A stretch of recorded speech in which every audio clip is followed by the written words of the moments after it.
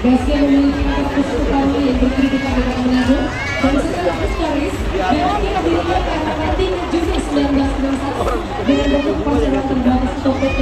yang kemudian dalam perkembangannya menggunakan sebagai badan usaha daerah negara Bogor. Koperasi